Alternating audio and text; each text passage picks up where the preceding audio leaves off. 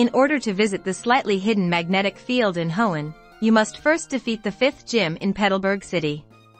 Afterwards, head to Mauville City to find gym leader Wattson in the city near the Pokemon Center. Talk to him and you will receive a basement key from him, which you can use to go to New Mauville, where the magnetic field is located.